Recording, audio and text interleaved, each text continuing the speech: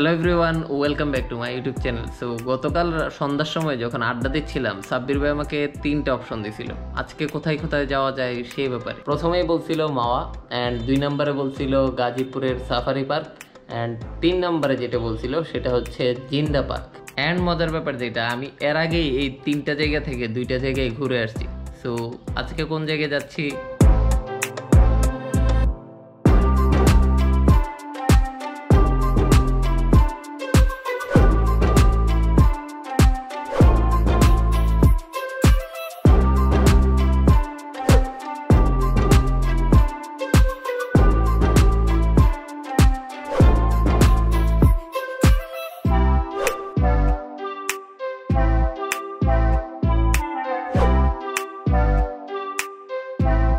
So আমরা আসছিলাম জিন্দা পার্কে, আর এখানে ঢুকার সময় টোটাল আমাদের থেকে দুইজন থেকে তিনশো টাকা নিছে অ্যান্ড পার পার্সন দেড়শো টাকা হিসেবে মানে দেড়শো টাকা করে।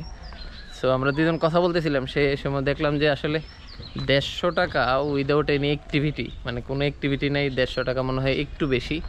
এটা একশো টাকা মনে হয় বেটার ছিল। এবং আমার জানা মতে আগে মনে হয় একশো টাকাই ছিল বাট আজকে শুক্রবার, আমি জানি না শুক্রবারে কি বেশি নাকি সবসময় বেশি। বাট দেড়শো টাকা একটু বেশি আমার কাছে মনে হয়।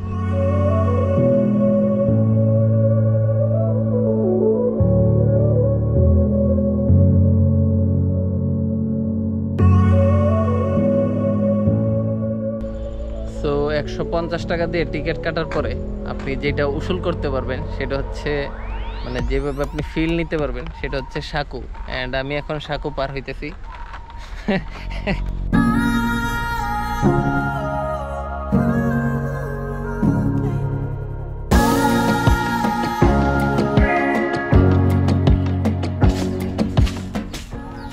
তো এখানে আসার পরে ফিলিং গুড খুবই ভালো জায়গা। সবসময় খুবই মানে অলওয়েজ মনে হয় এটা সবুজই থাকে, কারণ এখন তো কোনো বৃষ্টির সিজন না। তারপরে যথেষ্ট পরিমাণ সবুজ অ্যান্ড পরিষ্কার। অ্যান্ড এখানে যেটা করতে পারেন অনেকেই দেখলাম যে ফ্যামিলি নিয়ে আসছে অ্যান্ড পুরো বিছানার চাদর টাদর একদম নিয়ে আসছে।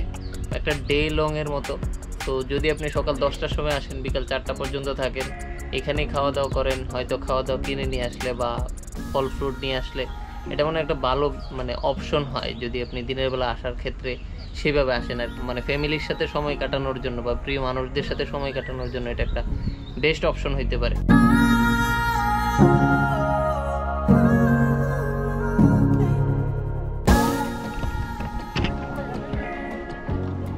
ওরে। সো আমি আছি এখন অনেক উপরে, একটা গাছের উপরে, ছোট ঘর। ওইখানে উঠলাম। খুবই ভালো লাগতেছে। বাট ওঠার যে এক্সপিরিয়েন্সটা সেটা একটু ভয়ানক। কারণ এখানে দুই তিনটা কার্ড মানে এই যে এটা, দুই তিনটা কার্ড ভাঙা আছে। তো গাছে উঠতে পারে এরকম লোকের জন্য সহজ আর কি জিনিসটা।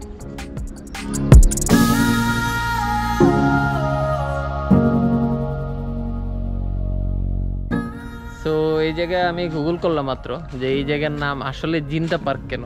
তো এই জায়গার নাম জিন্দা পার্ক, তার কারণ হচ্ছে মানে যেটা পড়লাম, সেটা হচ্ছে এই জায়গার প্রত্যেকটা জায়গায় আপনি যখন যাবেন, প্রত্যেকটা জায়গায় খুব অ্যালাইভ মনে হবে মানে খুবই মনোরম এবং মানে কি বলব এটাকে, জীবিত জীবিত একটা ফিল আসবে। এই জন্য আসলে মূলত এই জায়গার নাম Zinda park. I don't know it make sense or not but এইটাই পাইলাম গুগলে এই জন্য আসলে মানে এই জায়গার নাম জিন্দা পার্ক। সো এখান থেকে আমরা বেরিয়ে যাচ্ছি এখন। এখন যাব হচ্ছে আমি বাণিজ্য মেলার ভিডিওতে বলছিলাম যে একটা জায়গা দেখায়, যে এই জায়গায় আমি ডেফিনেটলি আরেকবার আসব। সো ওই জায়গায় এখন যাচ্ছি জায়গাটার নাম হচ্ছে পূর্বাচল ব্লু লেক মনে হয়।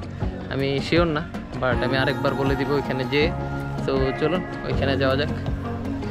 সো জায়গাটার নাম আসলেই ব্লু লেক এটা গুগল ম্যাপে দেখলাম, সব জায়গায় দেখলাম দ্য ব্লু লেক লেখা। আর আমরা এখন এক্স্যাক্টলি এটার পাশেই আছি।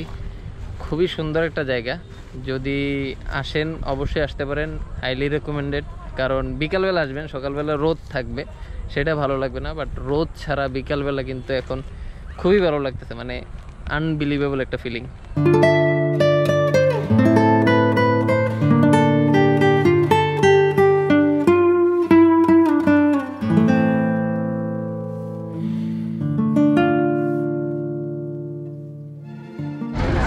আপনারা অনেকেই হয়তো জানেন না আসলে সাব্বির ভাইকে। সাব্বির ভাইকে এর আগে আমার ভিডিওতে দেখেন না সাব্বির ভাই হচ্ছে আমার কলিগ এক্স কলিগ আমি আগে যে ডেলি বাংলাদেশ যে অফিসে ছিলাম সেই অফিসের কলিগ এখন ফ্রেন্ড বলা যায়। তো এখন ফ্রেন্ড বলতে পারেন আর কি। আমরা এখন পাশাপাশি বাসা সারাদিন আড্ডা দিই একসাথে এবং আমাদের প্ল্যান ট্যান সব কিছু একসাথেই হয়। তো এই হচ্ছে সাব্বির ভাই। তো জীবনের প্রথমবার কায়াকিং করতেছি। যদিও আমার কাছে বইটা নাই কারণ বইটা এখানে নাকি একটাই দেয় দুইটা দেয় না। তো সাব্বির ভাই এখন চালাইতেছে একটু পরে আমি চালাবো। তো খুবই নাইস ফিলিং সাব্বির ভাই কামলা দিচ্ছে আমি ব্লগ বানাচ্ছি। ভালো হয়েছে বইটা একটা দিছে। সেক্ষেত্রে মানে ভিডিও করা আমি- আমি ব্লগ করতে পারতেছি ভিডিও করতে পারতেছি সাব্বির ভাই চালাইতে পারতেছে। আবার যখন আমি চালাবো তখন সাব্বির ভাই ভিডিও করতে পারবে।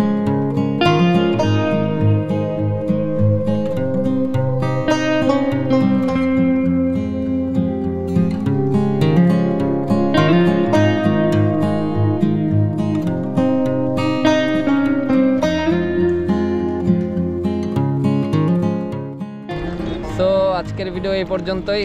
কায়াকিং করতে করতে ভিডিও থেকে বিদায় নিচ্ছি। অনেক সন্ধ্যা হয়ে যাচ্ছে। আর এখান থেকে উঠে আমরা বাসার দিকে রওনা হব। সবাই ভালো থাকবেন, সুস্থ থাকবেন।